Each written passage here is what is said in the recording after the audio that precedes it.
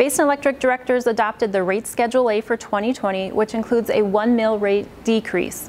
The electric heat rate is held steady into 2020, and the load incentive rate is extended another year. Basin Electric rate and load analyst Elizabeth Earhart gives an overview of some of the other changes that were made. The board did adopt the 2020 rate components for 2020. They did decide on a 1 mil per kilowatt hour average rate decrease, and that's just through multiple discussions that we had with the members, and then also the board's discretion was just to have that 1 mil decrease. The new member-owned trial battery rate gives the members the ability to own batteries on their system. It's allocated based off of how many distribution members they have, and that's the amount of batteries they can own on their system, but it kind of just gives them an understanding of how batteries will work in the future. And all that Basin, I guess, asks then is just to receive some interval data just so that we can study them for the future.